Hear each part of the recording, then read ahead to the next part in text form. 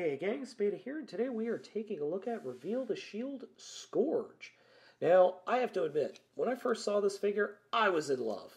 Loved it from the first second I saw it. It just, this mold works so well for Scourge. I think it's great. Now that's out of the way. Uh, there are a few little niggling issues I have with it, which I'll get into as we go along with the review. But overall, this is a very nice mold, and it works really well as Scourge.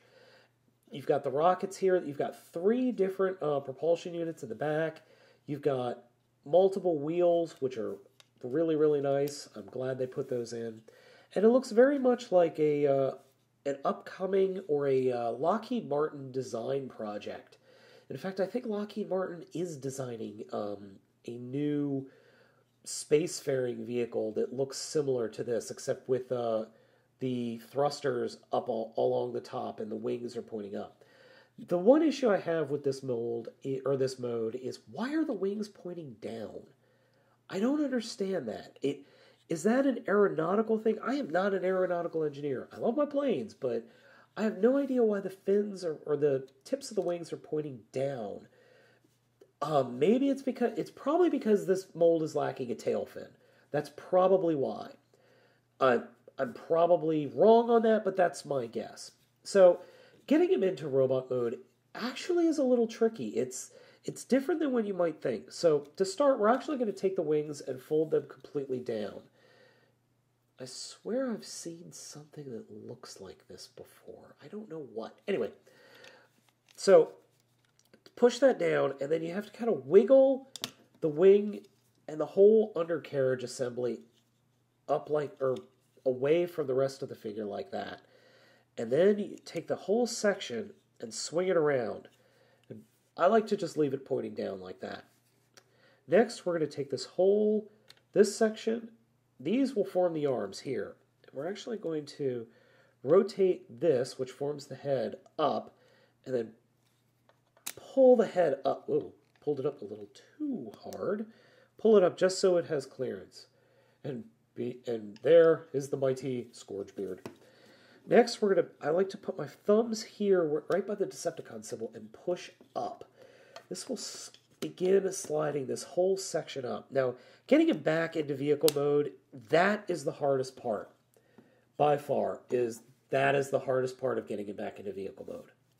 Next thing we're going to do is take the whole cockpit section and rotate it 180 degrees. and split it open and fold the cockpit sections down to form the legs. Then reach under here, grab it, and just flip it forward to form the feet. Rotate them forward, and we have the figure standing out. Now on the back, there's a a hole here for this part, and then these pegs will plug into those sections on those holes in the back. They don't really stay all that well, but they're there. It just keeps it from flopping around, I'm pretty sure. To form the arms, this is actually pretty interesting. You'll take the thrusters and fold the thrusters away from the figure. Then you'll pull, then you'll take this and pull, flip them out away from the figure as well and untab them then pull them out. what I like to do is completely fold that away. When you get to this point, you'll then take the entire section and rotate it around. Yes, Kitty, I know, amazing. And then there are tabs that will actually fit inside the thruster parts which form the shoulder blades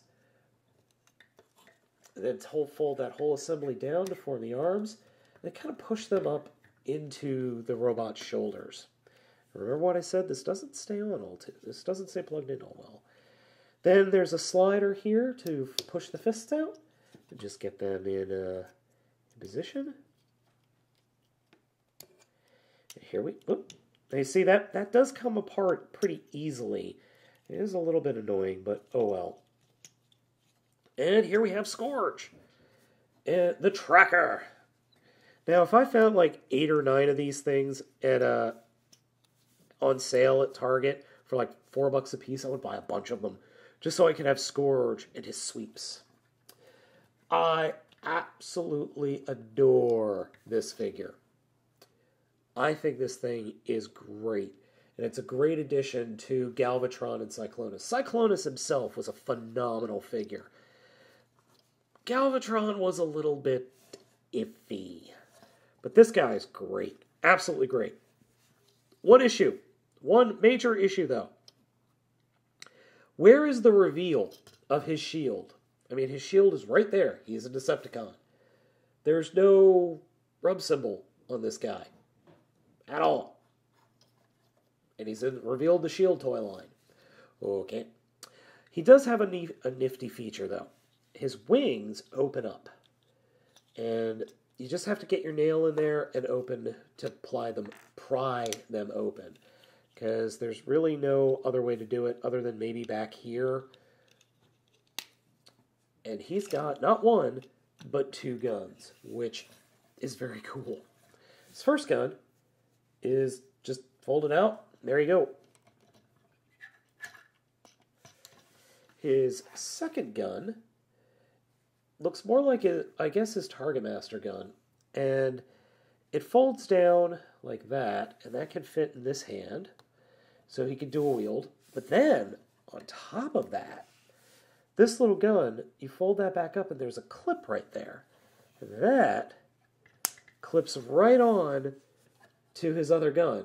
Now, if I remember correctly, I believe that's the way Fracas looks, his Target Master from G1. That is just awesome on so many levels. I absolutely adore this figure. He looks great in both modes. He's got a fun transformation. His accessories do something awesome. He's got articulation. Uh, his butt, is. oh, I forgot to mention that his uh, butt shield can actually fold out.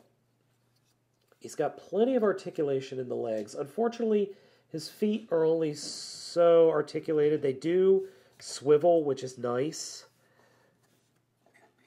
And I am struggling to get a good pose. I suck at posing figures. The other thing you could do with the gun is you could actually clip it onto his head but it looks silly, so I'm not going to do that. I, I just absolutely I love this figure. It's it's just a great figure. It's just a great. It's got great gimmicks. It just holds together really well, and is a phenomenal figure. Getting him back though is a little bit tricky, which I'm going to show you. So we'll forego putting the guns away for right now. Actually, no, I'll go ahead and show that to you. So just getting the wings open is just a little bit of a is a little dangerous. I'm not gonna lie. Uh, I tried having him out with his wings open. He just looks silly like that though. So that one goes on that side, and they have to go on these sides. They just do. That's the way the plastic's molded. So get that together. Get his arms taken care of and I am doing it wrong. And if you hear what sounds like pitter, pitter, pitter, pitter, pitter, pitter, pitter, that is uh, my cats. It is uh, kitty playtime, apparently. So, that, there we go. All right, this is where it gets a little weird. First thing we're going to do is get the feet folded back up.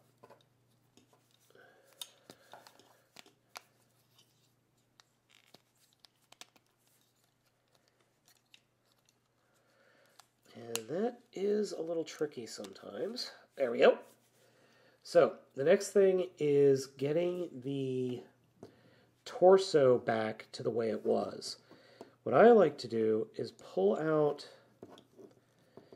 sometimes just pull the arms out just to get them out of the way. Then you have to take the whole front section and just push it down and unpeg it from the rest of the robot, or from the robot's head. And then if you I don't know if you just saw, but by pulling these out, when you unpeg it, you then push them in, and sometimes, and I'm lucky this time, the whole chest section will just slide down on its own. Because there are gears in there, and the cats are still fighting now. Then we'll collapse the head. Yep, cats are fighting. Collapse the head and rotate that forward. Then take the whole wing section, rotate it back around, get everything lined up, and then just snap it into place. Now, I had to do this a couple of times before I got it, before I mass, quote unquote, mastered the transformation. You're going to have to do it a couple times too, because the directions, well, they kind of suck. But this figure, other than that, this figure is great. Uh, the only real complaint I have is the fact that there's no real paint in this mode. I would, I think I'm going to take my uh, my Gundam marker to it and just get these wings painted because that would look really cool. But as a Scourge figure for updating for the classic slash generation slash reveal the shield line, this guy's awesome.